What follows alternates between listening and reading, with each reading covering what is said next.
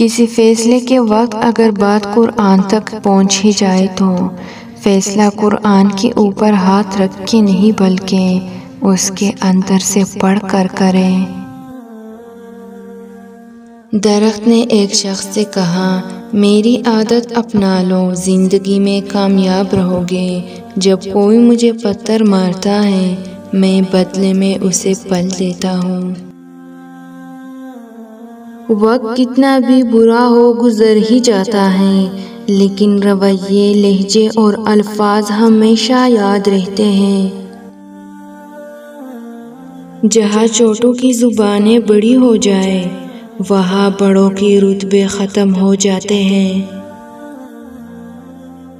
Google से दुनिया का हर रास्ता देखा जा सकता है, लेकिन जन्नत का रास्ता सिर्फ़ कुरान और सुन्नत से देखा जा सकता है।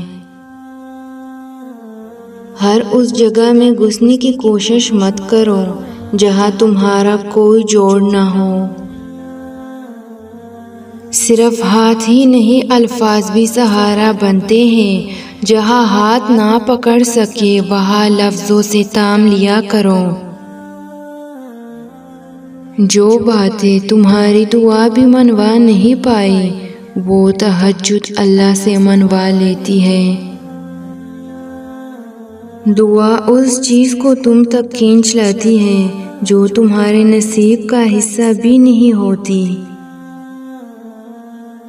जब तुम रब की चाहत में सर झुका दोगे, फिर वो भी तुम्हारी चाहत के लिए कुन कह देगा।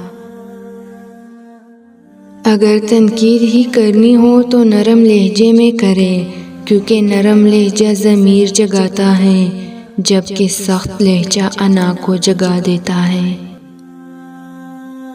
सजदों से ताल्लुक़ बनाए रखो, जवानी बार बार नहीं मिलती।